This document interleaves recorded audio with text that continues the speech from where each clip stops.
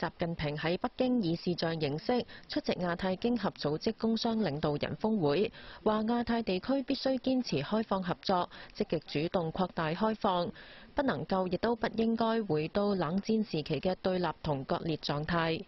無論世界形勢如何演變，亞太經濟韌性好、動力強的優勢不會改變，要堅持向前看、朝前走，反對歧視性、排他性做法，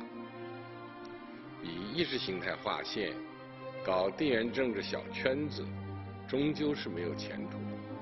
亞太地區不能也不應該回到冷戰時期的對立和割裂狀態。習近平話：各界要把握大勢，推進貿易同投資自由化便利化，維護產業鏈同供應鏈穩定順暢，實現聯動發展。亦都要加強亞太地區科技創新協作，為科技發展打造開放公平嘅環境。習近平強調，中國將堅持真正嘅多邊主義，積極參與全球經濟治理，推動建設開放型世界經濟，亦都會推動國內市場經濟，支持非公有制經濟發展，堅定不移改革開放，為亞太經濟發展提供助力。